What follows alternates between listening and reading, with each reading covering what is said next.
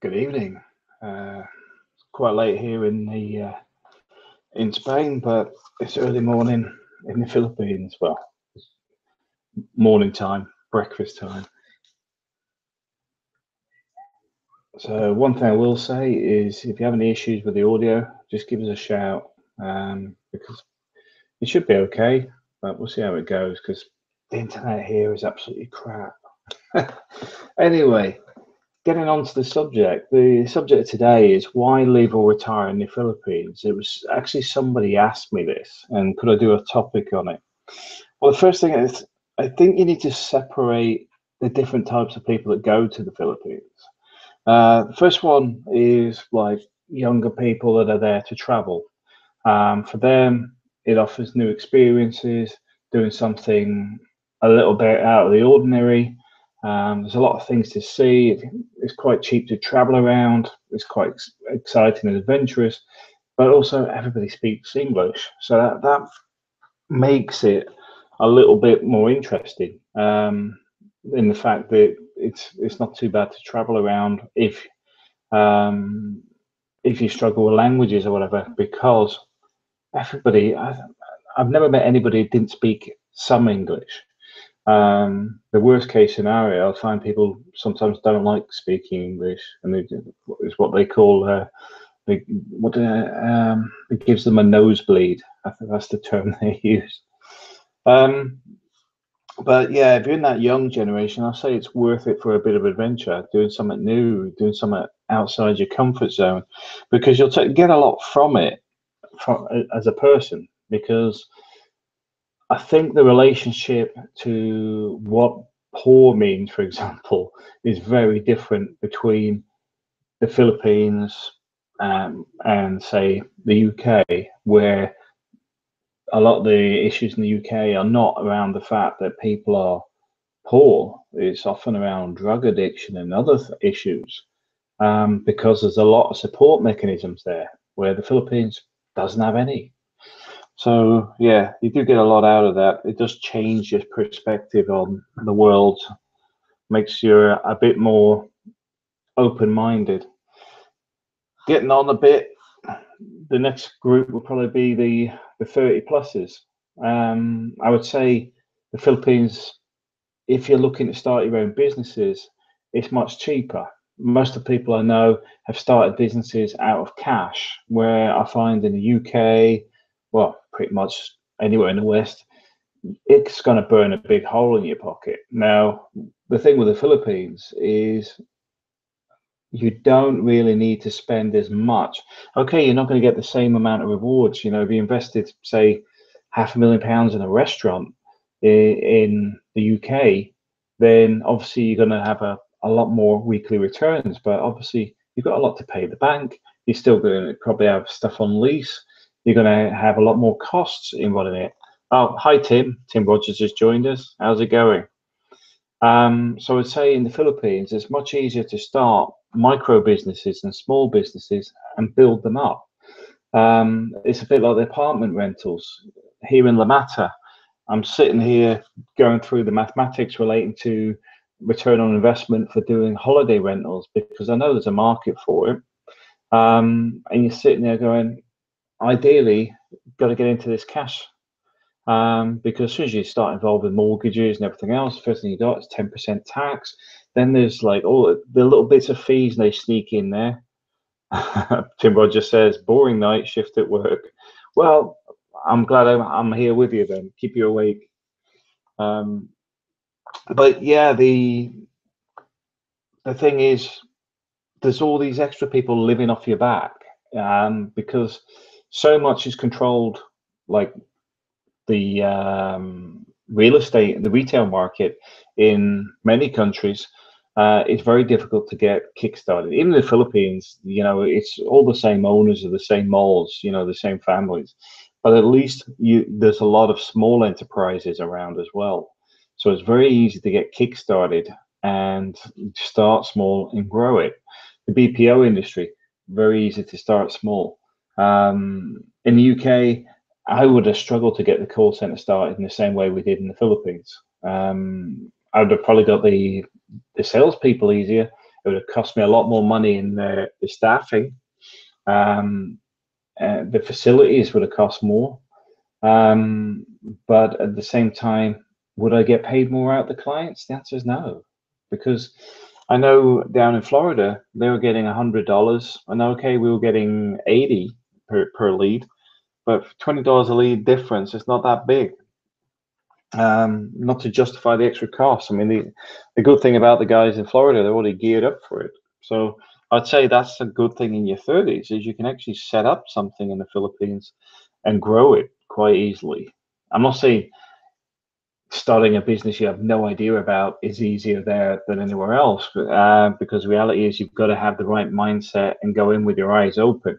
It's not something you just go, bang, oh, we can do that. Because I see a lot of guys fail um, because A, they don't research enough, B, they give it to their wife or a relative um, in the Philippines and it happens the same to overseas Filipino workers uh, because they invest in it, and then the other people don't take the same level of commitment on the business as you would because it's your money. When it's someone else's money, they don't have that same commitment. They say, "Oh, it's my brother's business" or whatever. They don't really commit to it in the same way.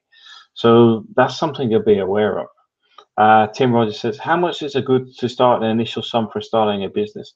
It depends what you're doing. Um, I believe, well, I know this works. There's been other people bring it up as well after doing it, after I did it. Um, you can actually become sustainable with lots of little small things going on. Um, like the Sari Sari store doesn't make big money, but if you had the Sari Sari store, it'll bring money in to pay for your electric or whatever. Then you sit there, have the peso peso arcade machines, and then having um, a little bit of livestock. You know, you you know pigs, chickens, stuff that's easy to sell. Then it starts becoming very sustainable.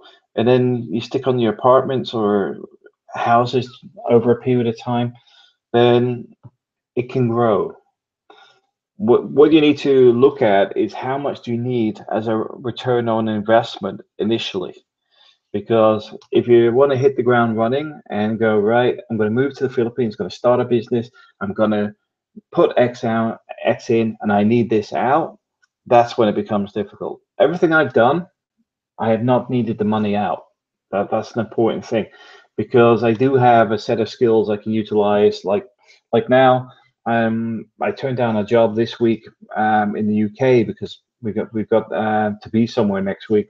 But um, the thing is, I still have regular flows of work coming in. Um, I've worked worked uh, two days this week for one company. Somebody else contacted me yesterday about some other work for the next three months, part time from home. Um, that's what I mean. If you've got steady flows of work, it's much, much easier. But if you're going to go there and say, I'm going to do this and that's all I'm going to do, that's where you can hit hit some risks because the figures can often not add up.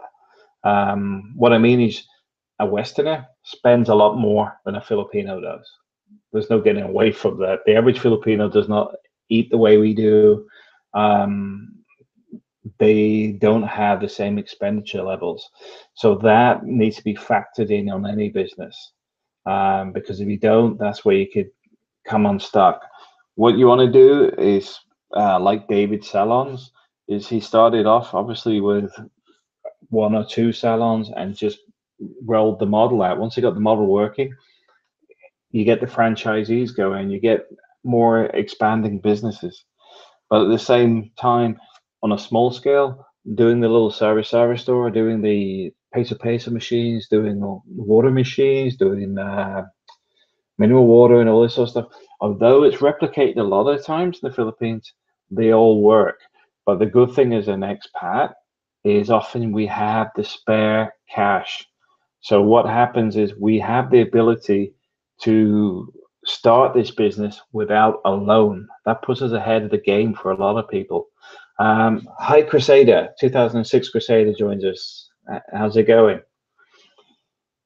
Um, so, yeah, that's the 30 pluses. And then the next group would have to be um, the retirees and retirees. I would say the the 30 pluses and the retirees, where they're looking for a partner. Um, I'll be honest with you. I I'm re- I've been rarely single since I was well I wasn't even single at school so it's not a you know because there is a stigma where like oh maybe you you can't get a woman in your own country um no that was not, I've never had that issue but the thing is I wanted a for me I wanted a I wasn't even looking for um somebody from the Philippines either at the time but um what happened is yeah I mean my wife knows it, and previous exes know it. I would only marry once. Um, I'm not religious, but my commitment in a marriage is for permanent, you know, a permanent partner. That's it. My commitment's 110%. So for me, I wasn't even looking for a partner, but knowing how many people are a looking for a partner and visiting the Philippines, trying to find their ideal partner in the Philippines currently, with a partner or looking for a partner, a lot of it is about having that other piece that completes a person, which is having somebody else that they want to spend the rest of their life with. And that's why a lot of other people go there.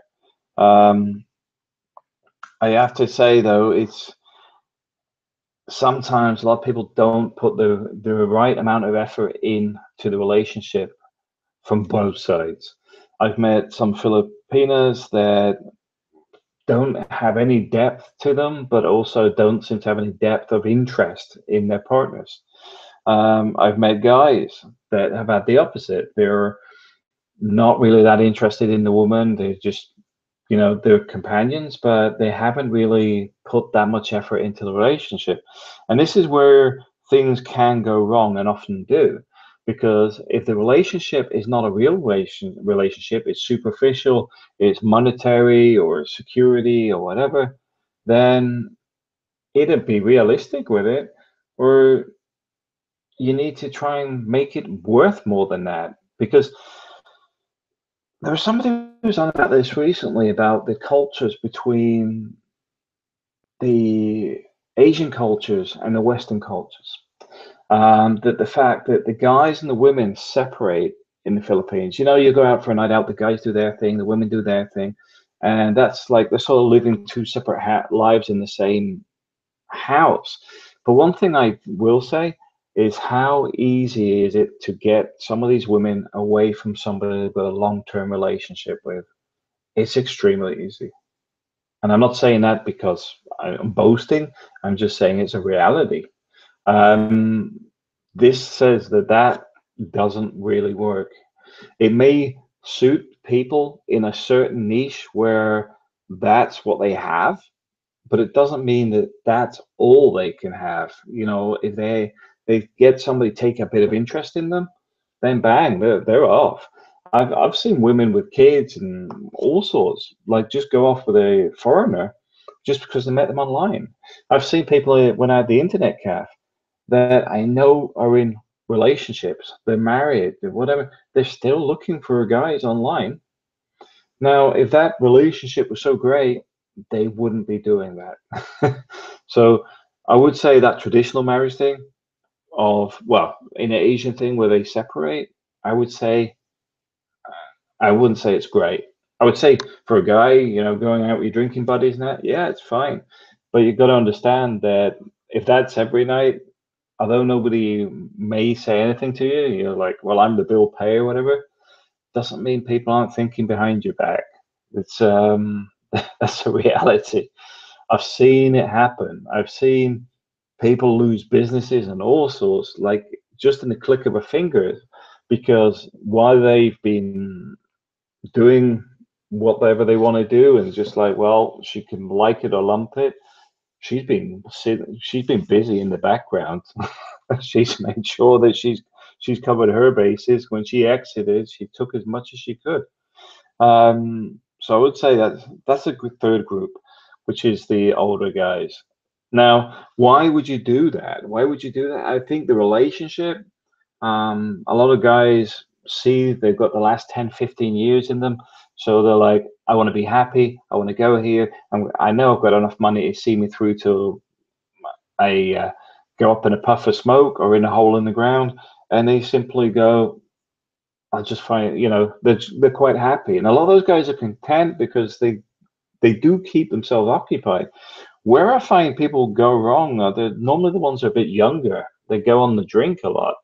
Um, it's probably in the fifties crowd, probably probably uh, mid forties to probably about the sixties, where they drink too much um, because they get bored.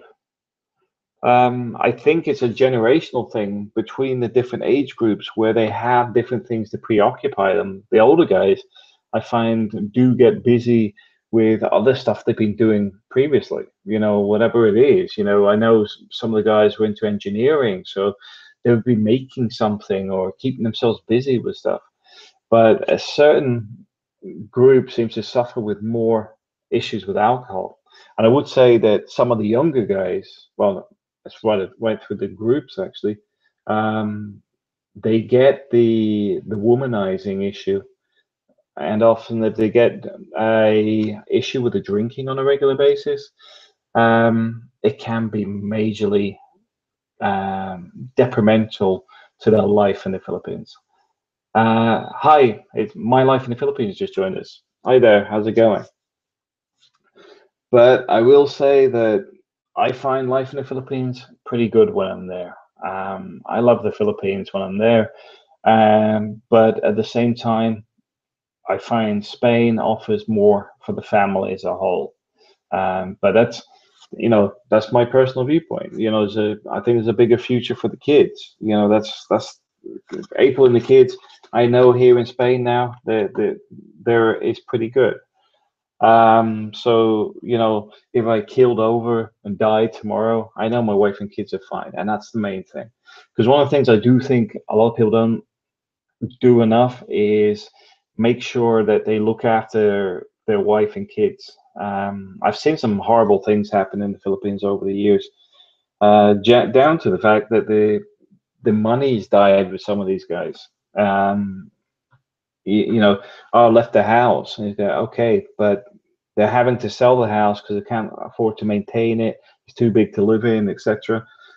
Or the families got involved and they're just destroyed everything. It's um, it's sad when it happens. Um, but I would say, yeah, the plus side, if you're young, do it for the adventure and the experience and getting a better understanding of the world. If you look for a partner, there's lots of women in the Philippines very easily to approach. I think that's another thing these days in the West. A lot of women aren't approachable, and it's not not because uh, you know I've some of the stuff I've seen. I just think, well, why why are they so aggressive with some of these guys? Um, you know, like even in you know, like even in general conversation, I think it gets to the point where some guys simply say, it's not worth my time. I can't be bothered. Um, and, I and it becomes an easier option to go to the Philippines rather than finding somebody in your own town. Um, but obviously, there's a lot of different traits and things going on in the West now. Binge drinking and the horrible side of Western life. Um, I think that has a lot of negative implications, which is why some guys head to the Philippines because a lot of the women in the Philippines, although the West is catching up there, um, there's still a lot of traditional values. There's still a lot of people with um, a good moral compass and stuff. I'm not saying that they're all like it. I'm not saying everybody's like it, but the the thing is, from the people I know, the people I spend time with, I know they're good people, and I do know there's some nightmare nightmare people out there but they're not really too much of an issue for me. Um, but yeah, I would say for people looking for a partner, Philippines is a great way to find somebody because a everybody talks to you. It doesn't doesn't matter who they are, where they are. I've never had anybody refuse to talk to me. If anything, everybody's happy to talk to you. Um, but that's the other thing in retirement. If you're retired, there's always people there. You know, even outside your house, there's always people who'll talk to you. There's, there's a lot of engagement. In the UK, it's not as friendly friendly as it used to be. I think some of it's to do with demographics. Some of it's the way families are no longer in the same town. You know, where um, you know, like we all used to be in the family house, and then your sister would be living two streets away, and all that sort of stuff. And now um, people are all over the place, so that sort of connections changed. Um, and with it, also the the neighbors and things like where people used to work at the same factory, work at the same mine, whatever it is, um, that sort of disappeared. And the longer hours in the UK is also um, affecting things. So there's a lot of negative stuff that influences day-to-day life, especially when you get to retirement, because you find people hide. You know, you, they're like, oh, you know, old Bob next door, I, I dread seeing him in the morning because he always wants to chat. That's because old Bob doesn't see anybody else during the day because you're the last person that gets up for work and goes out and just get go out the door as he's getting his milk from his doorstep. And um, the end of the day, he looks forward to just spending five minutes with you because everybody else has already gone to work. You know, that's that's the reality. The Philippines, there is always people around. Doesn't matter what time of day, you can always find somebody to talk to if you wanted to. And the same with meeting women or whatever. Always lots of women around. So that's that's the positive side. I mean, the, the downside, I would say, healthcare. You got to be very careful with. Um, the levels of poverty in the Philippines can be quite extreme. Um, if you're not used to it, it can affect some people. It does affect some people long term as well. I, I've, I mean, I, I've met people that were shocked. You know, they didn't expect it to be to the extent the the levels of poverty.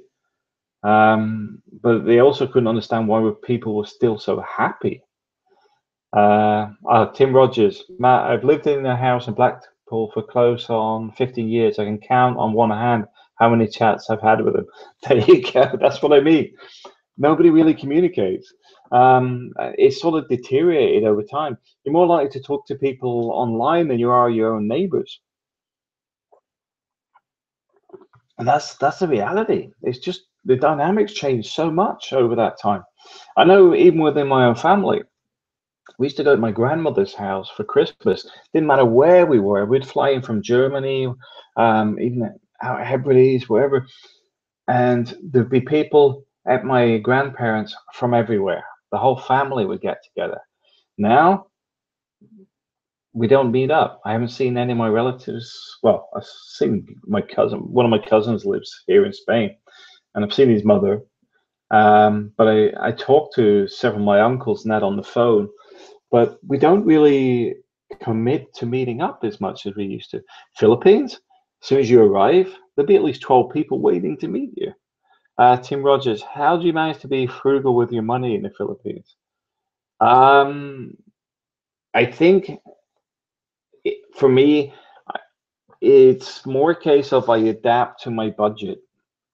Um, I'm used to adjusting to what money I have. So I work on a project basis. So if I have a specific project, um, then I don't overspend. The priority is getting the project finished.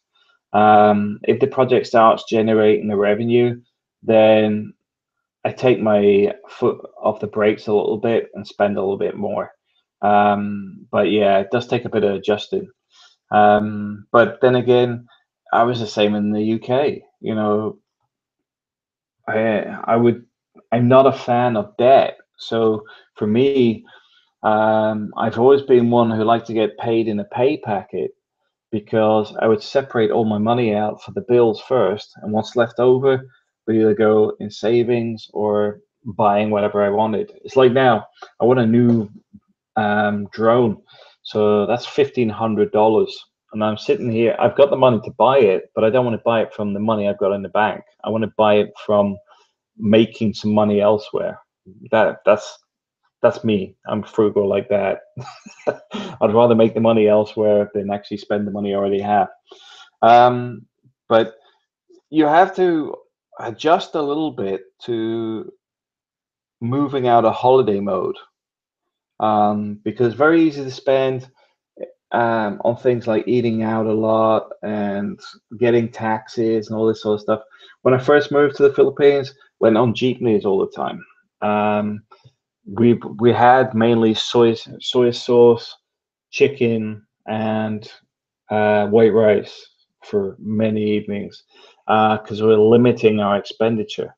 Uh, because the way way I work it is you work on what budget you need, which is basically what it's going to cost you for your basic cost of living, um, and then you expand out of that. You know, at the end of the day, you know, because you, you, get people argue like, "Oh, I could live, I couldn't live on this or whatever," um, but at the same time, I think some people forget that you start with the bare minimum and then you move up. It's like I like having an air conditioned four by four. I like having my motorbike, but do I need them? The answer is no. Uh, talk talk Carly. I haven't eaten so much chicken since moving here to the Philippines. Yeah, I bet you've eaten more pork though. But I don't eat that much pork, so uh, so I, for me, I I'm a chicken. I like eating chicken because it's for me it's the easiest other product besides pork. And dried fish. I don't need that much dried fish. I, I I do eat it just to show I can eat it, but it's not not on my table too much. It's on April's. I think she was eating it this week actually.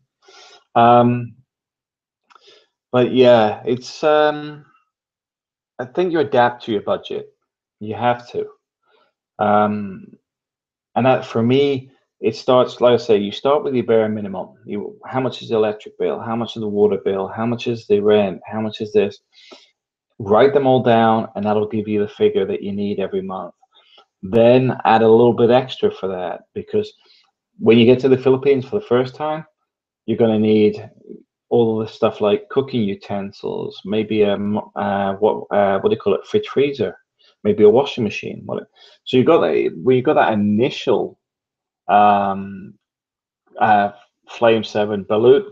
Uh, no, I don't eat Balut either. Um, although I've been invited a few times, it's just not not my sort of thing. Same as one of April's uncles likes the. Uh, they they had the the um, what do you call it? I think they fry the chicks. Um, they, they he eats that. I don't eat it. yeah, I like I like I like my food to have actually um, been alive a while. I'm gonna at least to become a chicken.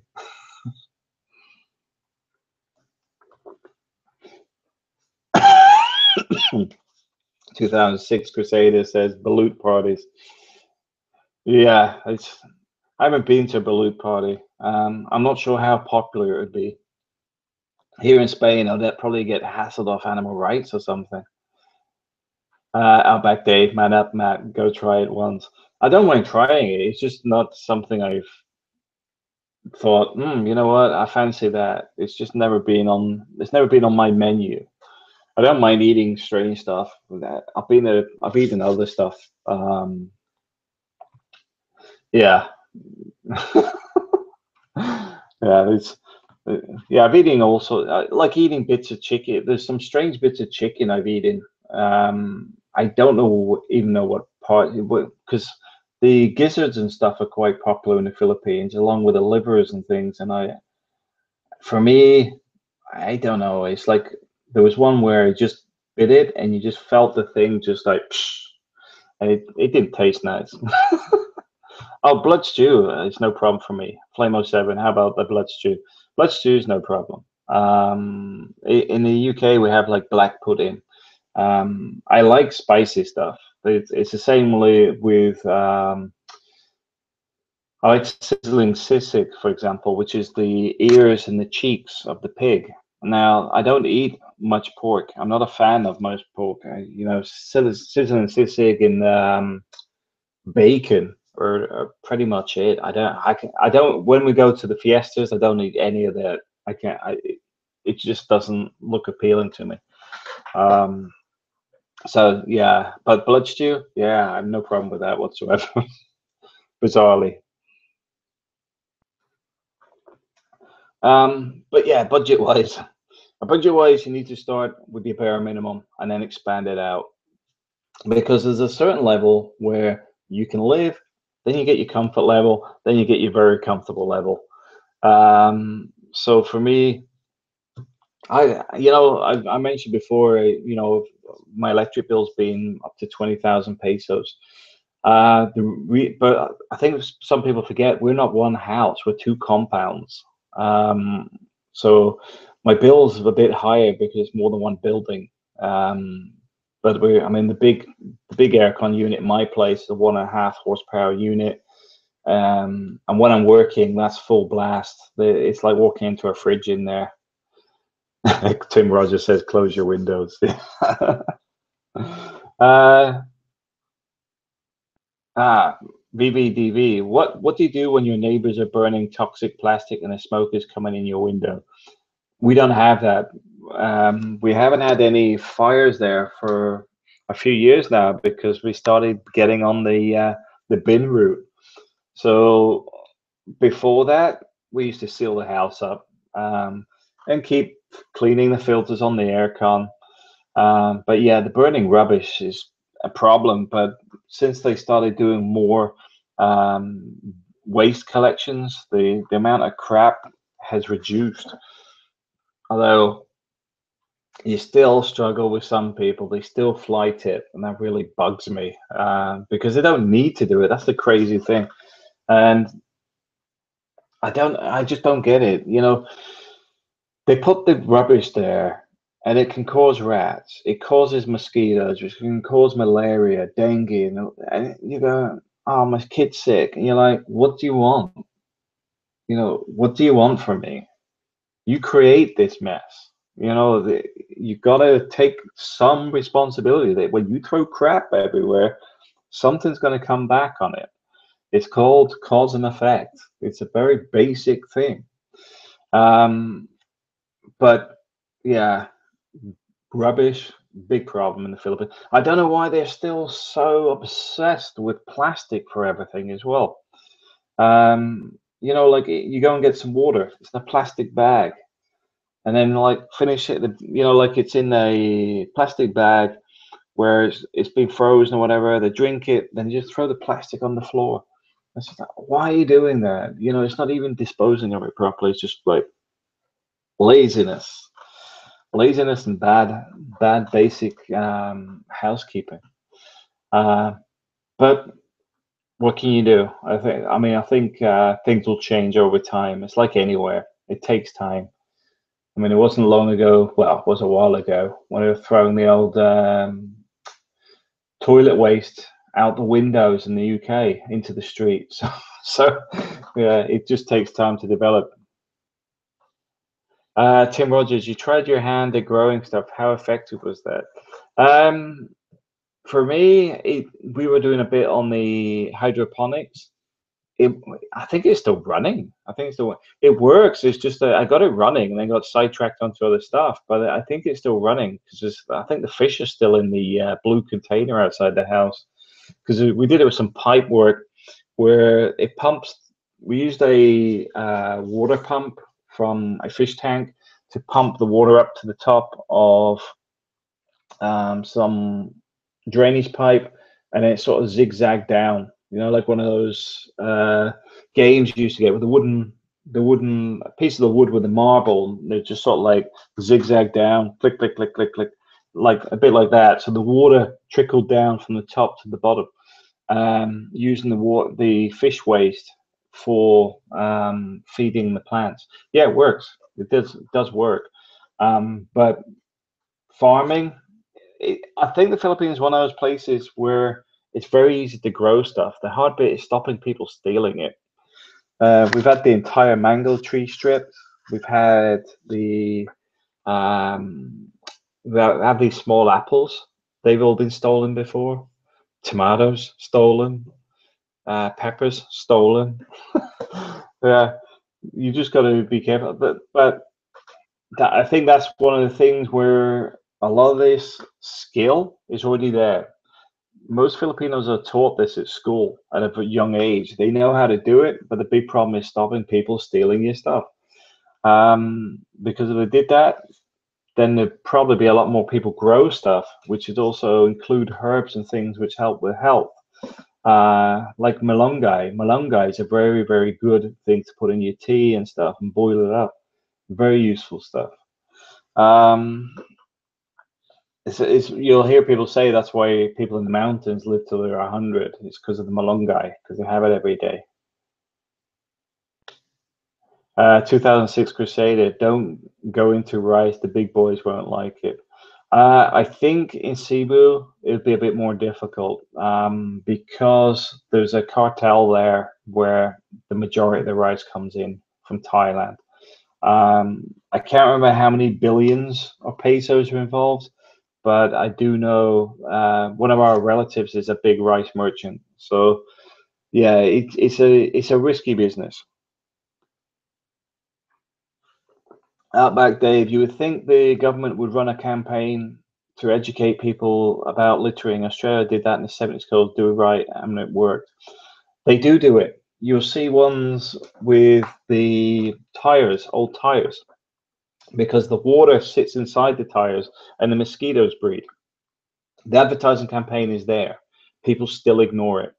They there needs to be a co complete change of culture in how people deal with stuff because a lot of the problem exists because people only think of their house their compound their location so when they think you know what i got some rubbish i'll just throw it over the fence that's the that's the, the mentality behind this um, there's a campaign in malaysia relating to um, human waste, where people were going because of the lack of toilet.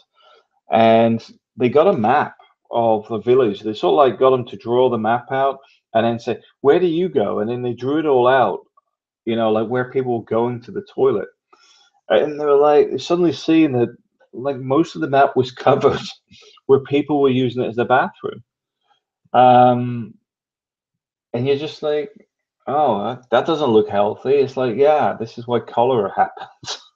and they started putting these toilet systems in, uh, but it starts with re-educating people because what happened is they started building these toilets for people, and then they started using them for things like goat houses, and didn't use them as a toilet, use them for storage. So you've got to get people to understand the link between disease health, and just general cleanliness. It's a bit of a nightmare. Uh, Tim Rogers, is it worthwhile having a rice shop? Yes, but it's a difficult one to get into because you've got to. Most people are already doing it and have been for a long period, long period of time. Um, April's uncle, if you went into the market in Minglanilla, um, a central market, if you go down on the left hand side, there's a big rice rice place there. That's April's uncle. He, has got a place there. He also does a lot of rice to restaurants and stuff as well. It's, it's, it's quite. He's made a few pesos. Let's put it that way. um, Ed Powers, one word, Benjamin Plastics. Is that biodegradable? The Benjamin Plastics? I don't know. Uh, I do think if it's biodegradable, it would help. Certainly needs to be reduced. because it's one of the big problems. I think if they reduce the plastics, they reduce some of the waste getting into the rivers, which would then stop the rivers blocking up with all this crap, which would then reduce flooding, which then reduce other risks beyond disease, such as houses getting washed away, because suddenly when there's a big surge of water that's blocked because all this plastic, and then suddenly it just breaks and it just whooshes through. Um, keeping all that clear would be perfect. Uh, but also, I think cleaning up the the sea and everything else is an important one. Clean up the ocean, but there doesn't seem to be enough change. Some of the malls run these like um, paper day where they'll do papered bags for a day or something. Um, I agree with that, but at the same time, I don't think they put enough effort into making it a bigger issue. Uh, uh, Fidelity Questor, they are very selfish, self-centered people that will never change for the better, only for the worse. I think it's just education. I think it changes over time. Um, BBDV is a foreign in Philippines a scammer. I can't say he's scamming. I, all I can say is I do think if anybody had given money for a specific project and he hadn't returned it after that project had not been um, carried out, for me personally, I think it would be ethically should have returned the money. But beyond that, I can't say because I don't do his accounting. I don't know. I see him building stuff, and I do think he's trying to develop the area. But beyond that, I don't know him personally enough to actually say one way or the other. Uh, Outback Dave, you would think that the elite would want more for their country. You would, but at the same time, it's it's the Indian princess story. There was an Indian princess who sat in her palace with everything like draped in gold and everything else, and this guy said to her the one day, how can you live like this with all this poverty just outside your walls? It's like if you don't like it, don't look over the walls. For a lot of the the rich, they don't they don't wander around in amongst it. Um, so they're sort of disconnected. A lot of them are disconnected completely. Um, there is a Filipino billionaire, a friend of mine. He's a professor He's a professor relating to agriculture. Um, he actually went to Thailand years ago to teach them about rice when, when the Philippines used to be a major producer. Um, he went to Thailand to teach them about how the Philippines were producing rice, how the how things have changed. But there is the, this billionaire guy has a ridiculous amount of land, and a lot of the stuff it's just not producing. Um, he's got these fish that he brings in from different countries just to have fish pools for when he's got friends over. They've got a lot of people that are elderly there that are employed for like 100 pesos a day. Um, they're like in their 70s or whatever. They're all, you know, they, they've just been kept on because they were something to do with the mother or grandmother or something. But they're not paid a lot, but they're just there. Um, but the the point being is they're so disconnected. I don't think they even look at it. It's not an issue for them because they don't get involved in it. They're not they're not the ones that are suffering with the the issues internally. Um, because if you're flying around in a helicopter or whatever and going from A to B, the same way as people that say live in Ayala Mall, uh, the sorry, Ayala Cebu, with the high rises around the mall, they don't have to go anywhere beyond the bits they see. So they can sort of disconnect themselves. And I do think that happens. But also sometimes I think the problems so big that it becomes very difficult to change, especially when you've got a lot of corruption in there as well, like thrown into the mix. Uh, BBDB, Duterte is on the wrong path. Drug users are a better product of the bad economy. Sorry, drug users are a product of the bad economy. If the economy was better, there would be less drug addicts. He's treating the symptoms, not the root of the problem. I think it was more political um, because, as we're seeing now, there is changes going on internally, um, and he's sitting back a bit more now. And I think because the system's changing, um, it will unravel some of the people that are involved in it at the top. And I think that's that's the bit that's going on now. Um, I will say I think the UK ignores its problems, um, and it's a bit. I mean, the UK is probably a bigger problem in the sense of what goes on there crime wise, etc. Um, I know dealing with social housing in the UK that the abuse is out of control. It's ignored, it's buried, it's kept out the newspapers. Um, so yeah, it, but if the economy was better, yeah, of course there'd be less less uh, issues. But you also got to bear in mind that the regeneration that's going to be going on in infrastructure and stuff will be generating jobs as well. So I will say that Duterte is doing it multifold anyway. Yeah, I think he's targeting it in multiple directions. Um, but I think it's too early to judge. It's normally uh, on your last years as a president or something, people look back on what you've done over a period of time. So it's, it's I think it's still too early to see where things are going and how much change will happen during that time. Um, where are we going on this? We got we got go way off topic there. Um, yeah, but if I was retiring in the Philippines, would it be the place for me? Um, I would say I don't know these days. The the healthcare issue is my biggest hang up for the Philippines. If my kids were growing up and doing their own thing, um, and April wanted to go back to the Philippines, yeah, I'll go back. Uh, it, it's not an issue to live there, but my main concern is healthcare. Um, finances, not a problem. Um, by the time I hit retirement, I would already increased my pension income significantly. I think that's one of the things if you do it earlier on, um, you know, if I know if I knew what I knew now, I would have already been able to do whatever I want. I mean, I'm not in a bad position, let's put it that way. But if I knew this 20 years ago, I started things like investments earlier on, um, it would already have been now I'd be in a position where I'd have a ridiculous amount of money in the bank retirement wise.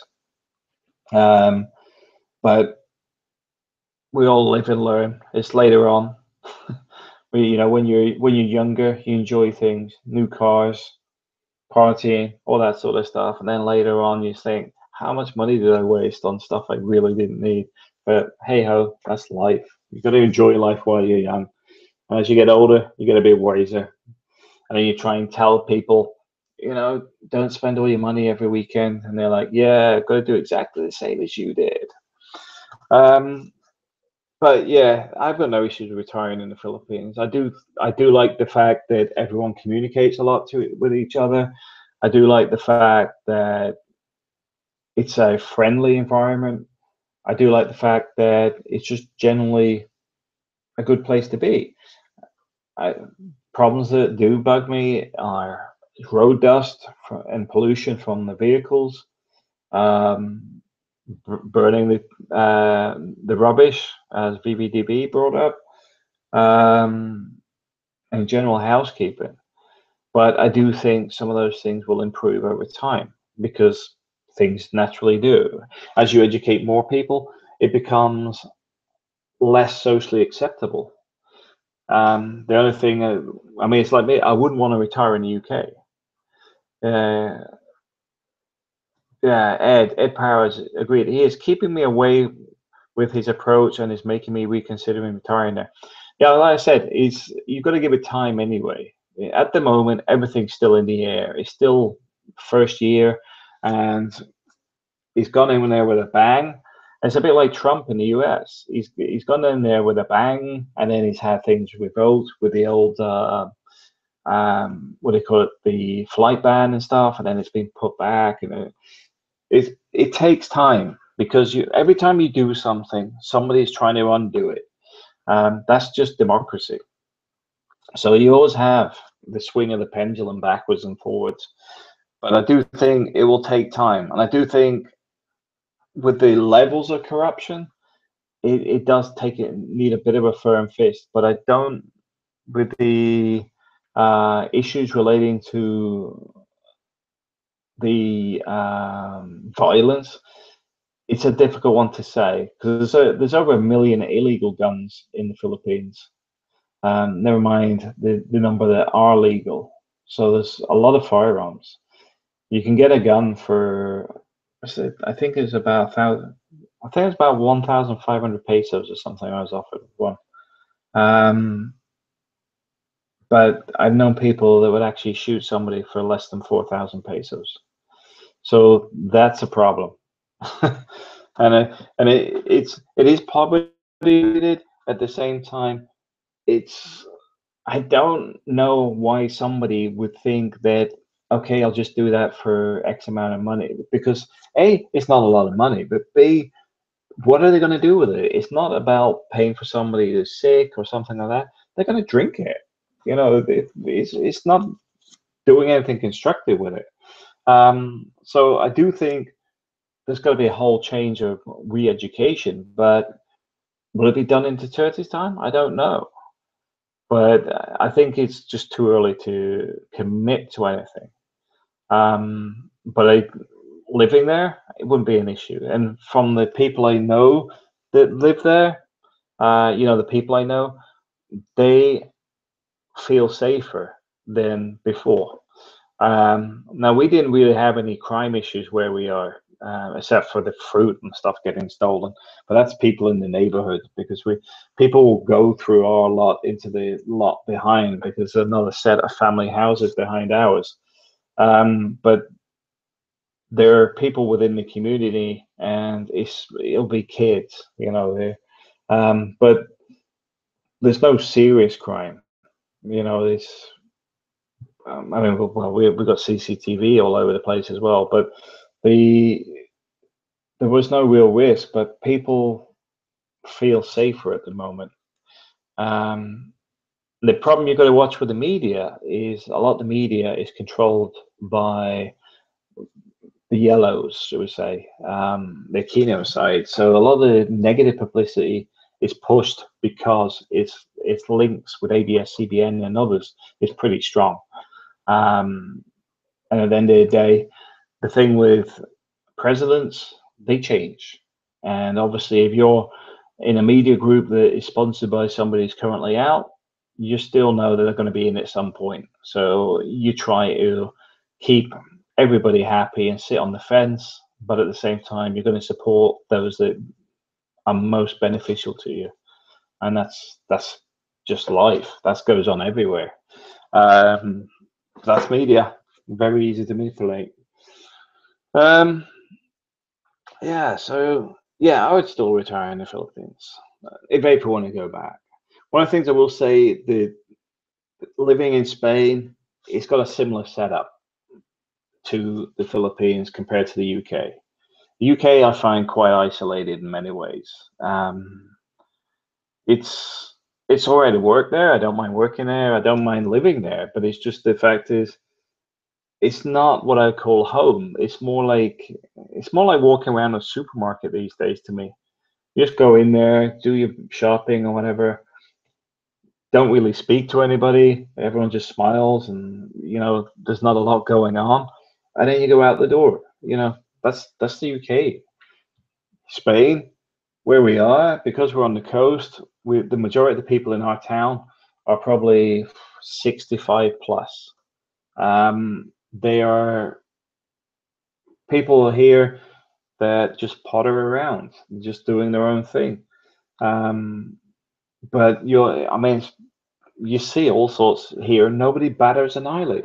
There's, I mean, a couple of weeks back, there was um, a couple of uh, gay guys doing their shopping. They're both wearing pink, and they had their pink shopping track cart, and they were holding hands, dragging the cart and stuff. And like, I noticed it, but you're just like, oh, okay, it's just normal here. The same as you get uh, women in their sixties with going topless. I mean, it's it's a it's a bit a bit much for my eyesight, but at the same time, nobody cares. It, it's just a laid back environment, and I think that's one of the things I do like about here. Nobody really bothers anybody, but everyone's friendly, and that's the thing in the Philippines. Most people will not bother each other. You know, if I if I decided I'm going to play music at one o'clock in the morning at full blast, my neighbors wouldn't even care. That, that's that's the honesty. They wouldn't care. In Spain, don't care it's the same, same in the Philippines. They wouldn't care less. Not that I do play at one o'clock in the morning. I'm sitting here doing doing this broadcast at one o'clock in the morning. Um, but I think that's for me That's the other thing. When here in Spain, by the time I come to retirement, I've already paid enough for the social security system to have free healthcare. Same with the UK, paid enough into the system. So when you look at that, that's a tick in the box because the healthcare in the UK is pretty good. The healthcare in Spain is on par, if not better. Um, I would say it's probably better from my own experience because in the UK, I think you have to phone the clinic where my one of my parents between eight and eleven. If you don't get through by eleven o'clock, that's it for the day because you can't get an appointment. But you can't pre-book an appointment either. In Spain, you can go online, book your own appointment, just turn up. Not a problem. Um, different environment, but I, the other thing is there's a fair bit of resources here on the coast because there's a lot of houses and not a lot of people in them. Um, so that's another good thing. You sit here looking at it, you go, I don't have the dust, I don't have this, I don't have, I've got, but here in Spain, I've got two airports, I've got uh, two hospitals on the doorstep, I've got good schools for the kids. You know, you, you struggle to say, oh, I'm going to retire in the Philippines because the more you get settled, the harder it becomes.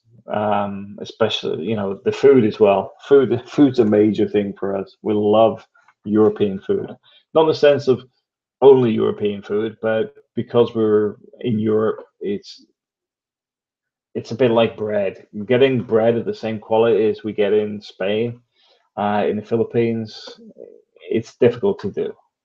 Um, same with the wine. Wine's ridic- ridiculous amounts of wine here. Um, I think probably Carrefour there's at least hundred, probably about hundred different types of wine. Um, Kikilai, Kikilai, uh, legalize drugs completely, and there wouldn't be any drug crime, and there is no need to massacre filthy drug criminals. Um, the problem is, it's not just a local industry a lot of the stuff goes for export. A lot of it funds terrorism. So it's not just on the, the localized area. A lot of it goes out the country as well. So you get pressure from other countries on top of that. Uh, ah, Outback, Out, Outback Dave, that restaurant food was great in your last bit. Have you seen the one on the Alicante channel? There was a new one today. No, the uh, Kikulai, Kukulai, uh, terrorism. Come on. No, no, the you're not talking. You're talking kilos, not not the local street person, because what happens is they export it. The same with the arms dealing. There's, I mean, there's a British arms dealer shot a while back in the Philippines. Uh, there's a lot of stuff that goes on very quietly in the Philippines. It's uh, like and other countries refusing to legalize drugs is not the Philippines' problem. It becomes a problem if, it's if the product is coming out of the Philippines. It's a bit like the problem. It's a bit like Colombia is in a major problem at the moment, um, relating to re rebel groups and stuff because of the the, the value of the trade. Um, so it, it's a major thing, and I, that I mean, the, the, the special forces from, uh, the special forces from Western countries operate in in Mindanao. Um, they are there for a specific reason, um, but I don't think it would fix the problem. I, I really don't. Um, at the end of the day, the economy has its other issues. It's a bit like alcohol. Alcohol is legalized, but alcoholism is a major problem in the Philippines. Uh, yeah, I don't think they will legalize it though. and it, it, wouldn't make the problem disappear. It, like I said, alcoholism is a problem and it's a growing problem. Binge drinking is a big problem in the UK these days. Um, I don't even know statistics relating to alcohol, alcoholism deaths and and drug abuse deaths because they probably find that the alcoholism one is probably a bit higher. Yeah, they keep it go, keep the drug war going for other reasons, personal gain? Yes, financial gain is an ongoing thing. Um, it's it's an industry, always has been. Um, yeah, so you see it all over the place because it's to do with contracts and everything else. But there's not a lot we can do about that. Um, but I don't think it would benefit the country to legalize it. Uh, not right across the board. Let's put it that way. I think it would end up with more problems uh, because you end up with a shift from one thing to another. Um, so I don't think it would just disappear and go, it'll become something else. Um, yeah, I think the, but the, I would say mechanization and uh, automation are becoming a big problem these days as well. I believe this year, uh, last year, China increased its automate, automation by 50%, which means more jobs are becoming redundant because machines and technology are taking over. Um, and, and I have heard people in the UK say to me before, people should get used to not working. Well, this is where alcoholism and drug abuse comes in, because a lot of people do not connect with self worth. Self worth is probably the most important factor in anything relating to human beings. If they have self worth, then a lot of these problems simply wouldn't exist. Um,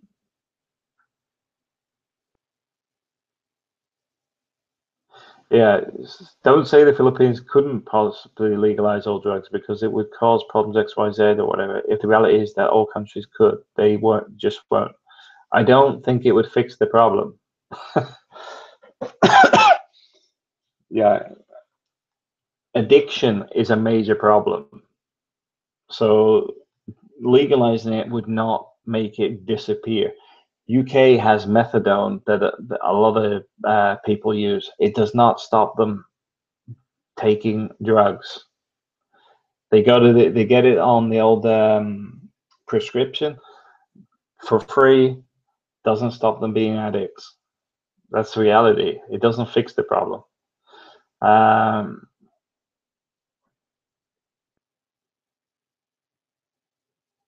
addiction is not the problem with legalizing drugs. It would still be a problem. Addiction is is a problem. giving people a giving people access to something that they're already addicted to would not fix the problem. It didn't fix fix alcoholism. It didn't it didn't fix um, the opium problems in China. It, it, it doesn't get rid of these problems. Um, I mean, that's that's the whole thing about the the extent of India trading opium for so that the British could get tea. There's, there's some, it doesn't fix the problems. Let's put it that way. It won't, fix it. Like I said, I think the biggest problem is self worth. If people have stuff to keep them busy, keep them occupied, and actually have feel of value, I think that has a bigger reduction. Uh, crime's a big problem with drugs being illegal. I don't think it would help. You know, the end of the day, a lot of the crimes being committed is down to the fact that people need access to their daily hits or whatever. So if it's legalized, they're still going to need money to buy it.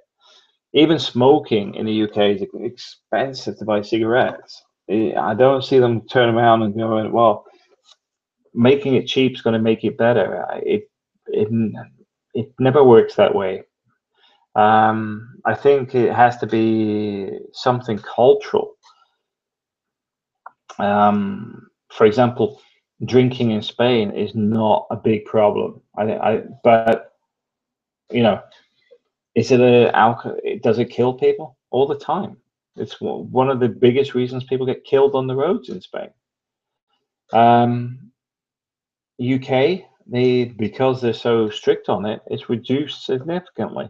But in Spain, it's still a problem. But alcohol's cheap, alcohol's legal, easily accessible. Um, so I don't think it would benefit. Uh, you you do know that legalizing drugs would make it cheap. Yes, it, of course it make it cheap, but I'm saying it doesn't fit, make it better. Uh, it would actually increase the market of people that use it. So if if it, if it's already known to be addictive, then you, the market would increase, which means the people that would use it would increase. So if it's highly addictive, then it's not gonna make the problem smaller. It's gonna make it bigger. Uh, there's no downside in legalizing drugs for us. Um, if it gets to the point where it's cheap, easily accessible, highly addictive, and highly destructive, uh, for example, if it's something that uh, causes the breakdown the way people operate, you know, mentally, physically, and going to work, then eventually it will become a bigger problem than not legalizing it. And I think the the problem you've got is it's just one of those industries that there's a lot of money in it from all sides, you know, um, but also there's a lot of problems within it. Yeah, but so people need to protect it from themselves. Ban alcohol uh, too. Then go for prohibition. The problem is with alcohol, like I said, it is still a problem. It hasn't fixed it by making it cheap and easy to access it. It hasn't solved the issue. Um, prohibition was removing something that was already available. So I don't think actually making something, um, making some, removing something that's already got its own addiction, etc., is actually going to make it any easier. In the same way, if you push something more into the market as being acceptable, would not reduce it; it would increase it. But now there are no violent gangs killing each other over alcohol. Um, yeah, but that was that's because it was actually something that was there, then revoked. So it become an industry over that.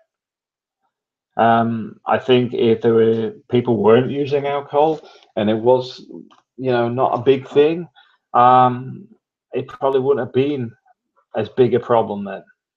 I don't think it's um, the addiction level. I think yeah, the addiction level with alcohol can be just as bad with certain certain types of drugs, but there's a lot more that are a lot more um, addicted. You know, it's much easier to get addicted on some of the stuff. Uh, addiction is a tiny problem compared to all the crime. It's it escalates from specific groups as well. I mean, it's there's certain gr groups in different parts of societies that are affected by different things. Um, there's certain demographics in London, for example, that like to party with their drugs more, but would having the drug access change the way they would commit crimes? Probably not, because it's cultural. Um, yeah, drugs around the crime around drugs affects everyone. Uh, addiction is an individual problem and affects individuals separately. No, because addiction always affects more than one individual. They always have friends, family, and the people they rob or whatever. Um, so it's never a single person that's involved. This actually affects the, the wider people. Um, so yeah, but hey, you know, if if you think it would fix the world, then you're welcome to that one. I, I don't I don't think it would would improve things. Let's put it that way. Um, it would certainly move the money in the different directions in the same way like big pharmaceuticals um, create medicines for left, right, and center. I mean, my personal view, a lot of the medicines I don't take myself. I'm not one for taking medication I don't need, but I know that's an entire industry sat there. Um, uh, addicts affect the individual and his family. That's still a way smaller group than society. It would extend into society though, because everything has an impact somewhere. So it would be in society somewhere. Um, there's no getting away from it because everything has a cause and effect. So it's a, it's a lot more extensive than just one bubble. Um,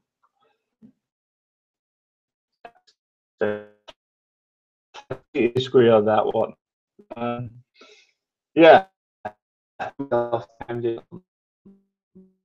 I think that um, for retirement, Philippines is still a good option. Um, but like I said, the problem I get now is living in Spain. You get, I'm getting very comfortable here. Um, but in the same way, the Spain, uh, the Philippines still offers a lot. You know, for, I do like the the freedom of driving around and stuff, and lots to see and lots to do. Um, but sat here in Spain, we've got the whole of Europe on our doorstep as well, so it does make it difficult to do a comparison. But if I was going with UK or Spain, uh, Philippines, I would definitely go with the Philippines. That, that's without a doubt. Um, but yeah, the the main reasons I would want to retire in the Philippines is a, I like the sunshine. B, um, I like the fact of being able to get out in the open road and travel around. C, obviously my wife comes from there.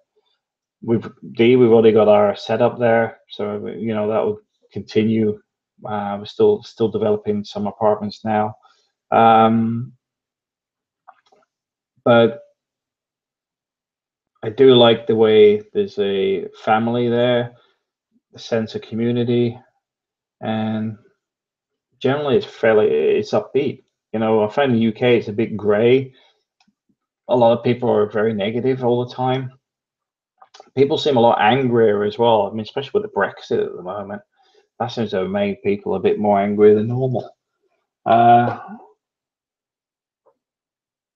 stop refusing to be wrong. No, I don't mind. It's not a case of I'm wrong. You'd have to have specific facts that actually said, "Hey, we did this in this country for you for it to become factual."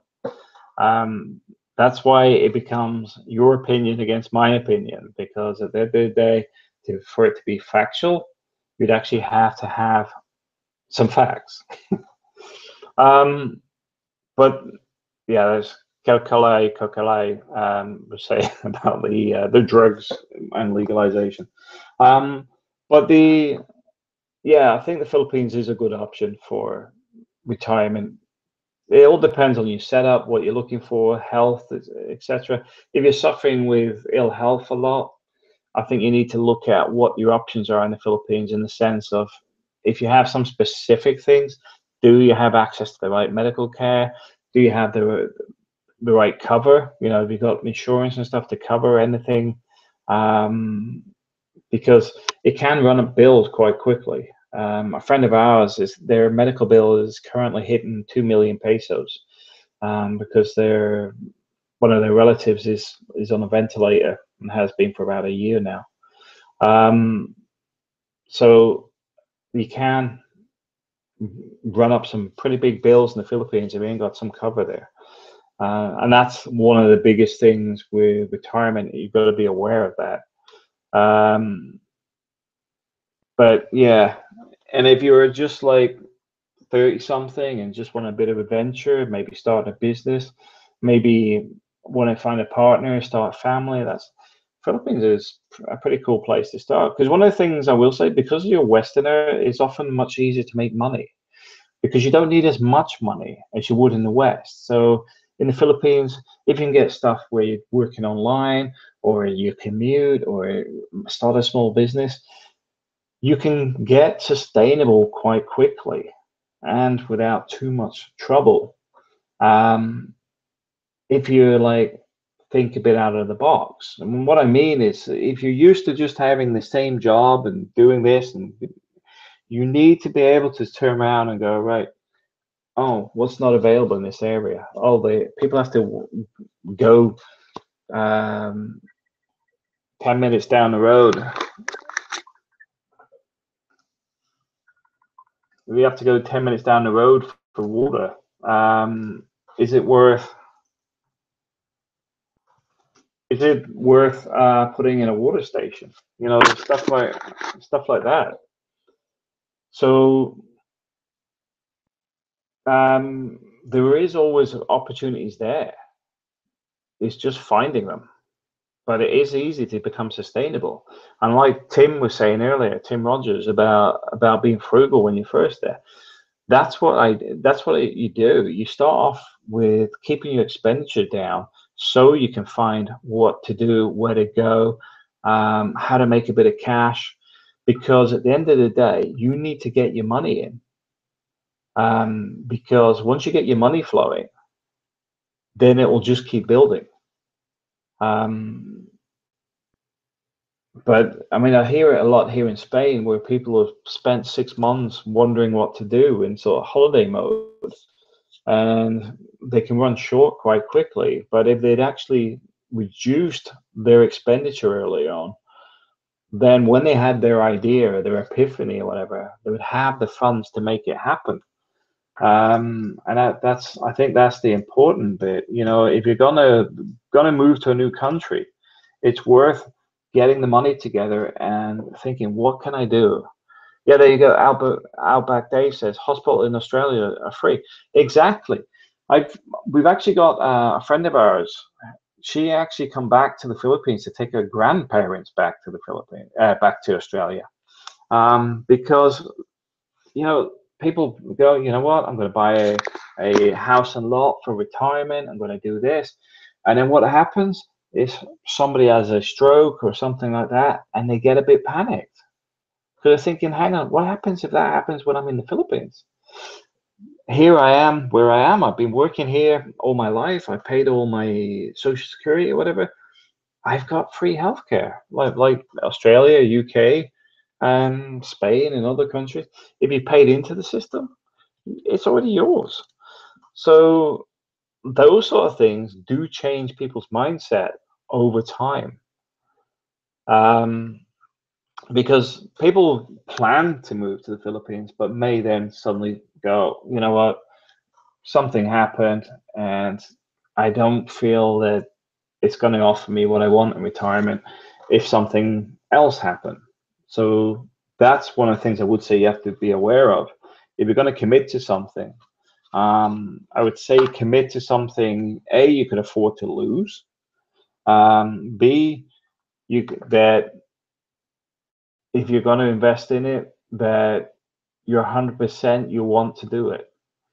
Um, but also sit there and just weigh up the options. Because a lot of the time I see things go wrong is I point stuff out to people and they don't want to hear it and then like months later or a couple of years later they they change something's happened they, they've had something go wrong or they've just decided it wasn't the right idea because one of the things i will say the majority of expats i knew back in 2007 2008 aren't in the philippines anymore most of them have gone uh,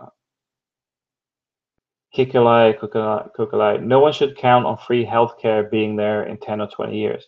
It's not free healthcare. People have paid for it. This is, you know, it's paid for out of your um, taxes. It's it's the way the systems are set up. Um, so it's it's going to continue. Uh, the UK is not going to get rid of the NHS. They may privatize sections of it and sell off hospitals and whatever but the the system will still still exist in some form.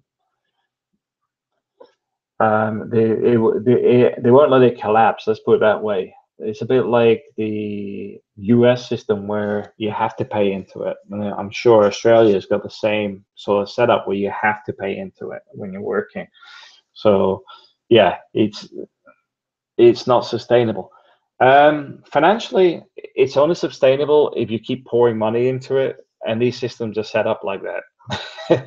the NHS needs to reduce some of its costs. Um, but it never talked about reducing. It always wants more money, but they will continue to request more money, and every election, if they there'll be there'll be pushed money in their direction. Uh, the problem with socialism is that eventually you run out of other people's money.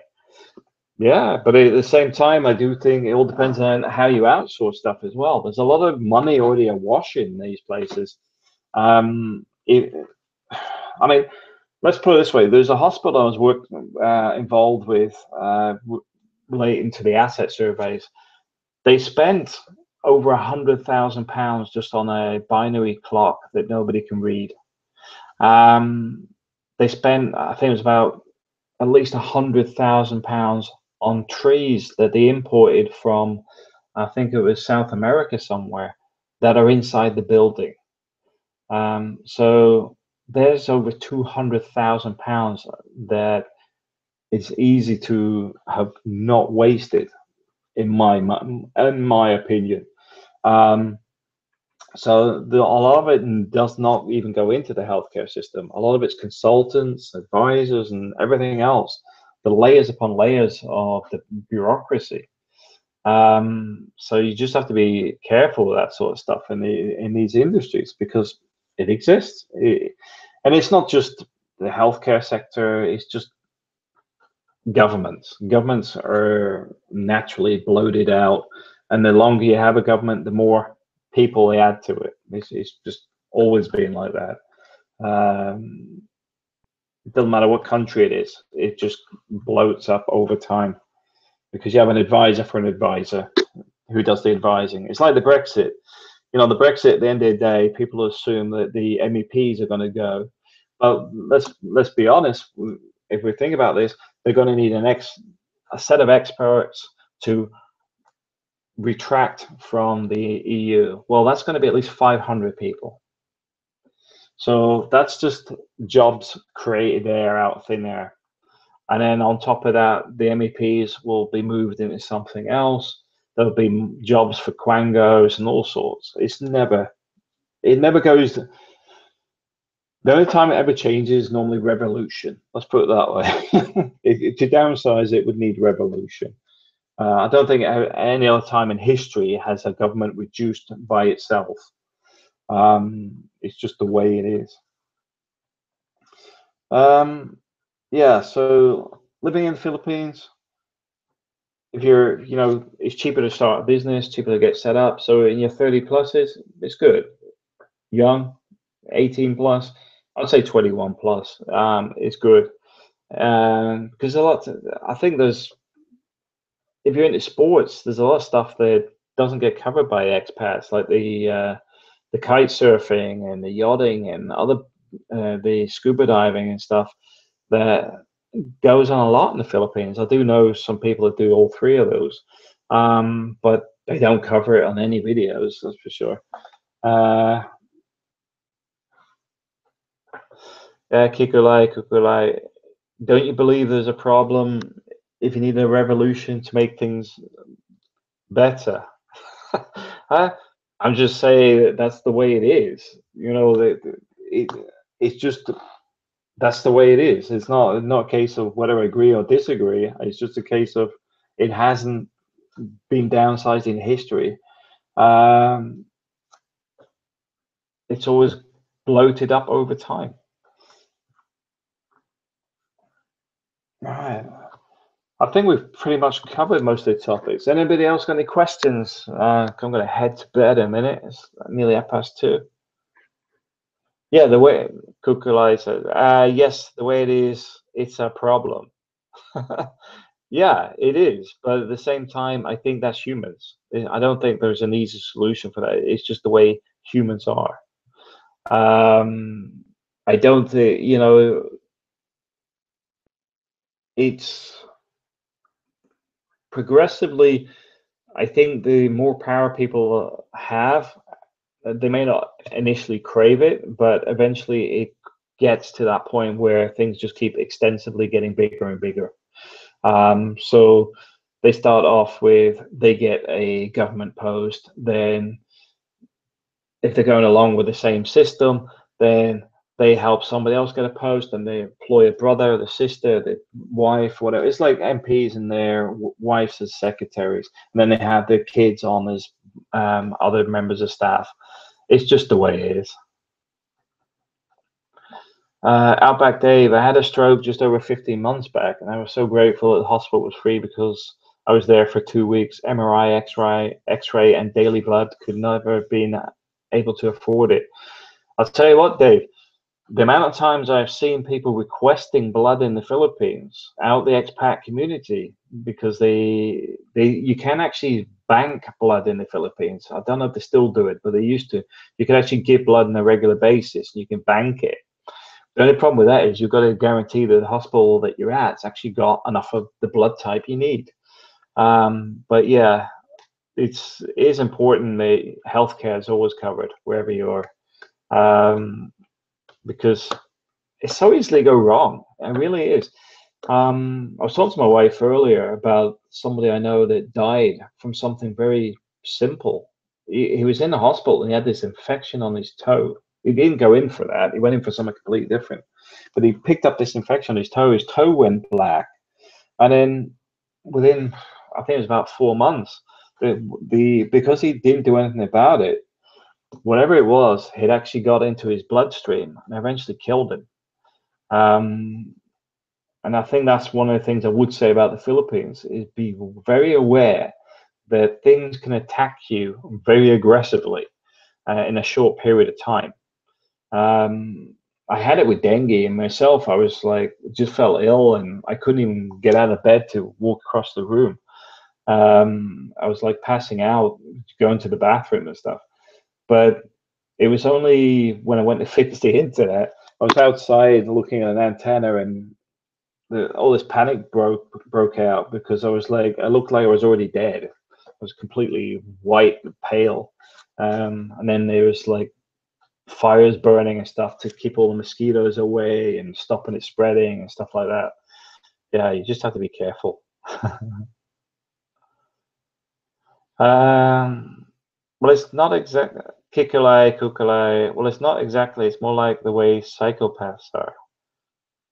Maybe that's part of the traits. Who knows? I, as um, the end of the day, these things happen. You know, it's just historically, politics moves that way. That things extend and extend. You know, every time you set up a committee or a board or something, it just gets bigger and bigger. Um, that's just governments. Uh, but yeah, I agree with you, Dave. You got to be, you got to watch yourself with the the healthcare, and like you're saying, in the being in Australia and having that healthcare there, not only did they deal with the issue, but also they gave you the backup to make sure you had the MRI, the X-rays, and all the checkups that are related to um, making sure you're healthy. Um, because one of the things I don't see too much in the Philippines is the aftercare. There's people that suffer with um, healthcare issues or uh, they're given some medication, but the courses are too short. Um, I remember there was a child that had uh, TB. They only gave him one month's supply of medication when he actually needed 12 months. Um, that's some of the problems you've got in the Philippines. You've got to watch as well with the uh, the strength of the medication because a lot of it's freely available. It's very easy to get things like morphine and things. Um, it, it's very accessible. Um, it's why you can sometimes get a prescription and just keep taking it back, and nobody even bats an eyelid. Uh, it's you know because like if you if you have a fever and you know what the fever is um, then you can keep going back with it you know like in three months time you had the same symptoms as you had before you already know what the medication was so you can go back with that Brian Blade, what I found hard when I was in the Philippines was it seemed everyone was just trying to rip you off for your money, and it's just got so annoying. But how did you deal with this in the end? Myself, I just tell people straight. You know, I I, I just um, I don't pay kennel price. I just refuse. Um, you know, like when people come along on the street or whatever, you just like just tell them to get lost. Uh, it may sound a bit brash or a bit rude, but at the same time, I'm not bugging them. And it, you know, my wife's had people before come in like pinch you on the elbow and stuff. You just like, you know, you have to tell them to get lost. Uh, but generally, I don't really have anybody rip us off. You know, uh, there's no like overcharging in restaurants. The only other one, the probably the only one that would probably try is a taxi driver. And with that, I argue with them the full journey about the cost of the ride, and I won't pay over the odds. Uh, but if they know you're local, then it's normally not a problem. Yeah, Brian Blade, taxi drivers. Yeah, exactly. With that, you just tell them what the price is because they'll go like uh, like we're going from uh, the Cebu airport to Minglanilla. Uh, I don't know how much it is today, but it used to be three three hundred and fifty pesos, and you'll get them go, oh, it's a thousand. You go, no, it's not. It's three fifty. You know, and they're like, no, no, no. I said, look, it's three fifty, and they, they'll argue with you. And I'll just okay, I'll just get a next taxi, and they'll go, they'll they'll come back. They'll say, okay, okay, okay, and I'll give them a tip anyway. It's just that I'm not having somebody whip me off. I'll get, I'll, you know, I don't mind giving them a tip out of choice. I, I just won't have somebody charge overcharge me because the more they do it and the more people accept it, the worse it gets. Um, because if it's Kukulai, Kukulai. By the way, it's like 2 a.m. in Spain now. Do you have these sessions at completely random times? It depends on the day. it really does. Um, because I moved the computer system. So it's in the sitting room. So the thing I have is it's too noisy during the day for the kids. So what I do is like tonight, I'm I was up doing something else on my computer, so I thought I'll just do it now. But I would like to do them in the afternoons, but it, it, at the weekends when most people are about, but the kids are kids are up early, and I can't do them till the evening.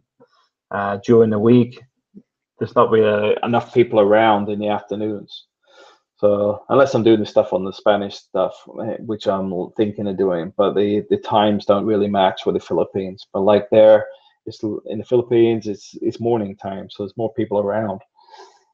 So yeah, but yeah, it's it all depends what I'm doing. You know, if I'm busy with work, like I was on the well Wednesday, Thursday, and Friday, I didn't do much. You know, because I was busy doing other stuff. So yeah, it is fairly random.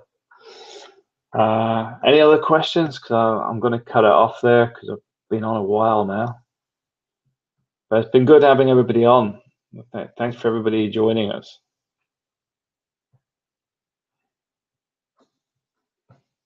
Any last questions? Talk, clock's ticking. okay, guys, have a great evening. Take care. Yeah, Brian, just tell them no. That's it. Just tell them no. when, when you get the taxi driver and they go, it's a thousand, you just go, no, dilly, dilly. it's like, you just tell them, okay, all right, guys, have a great evening. Oh, well, have a great morning. Take care.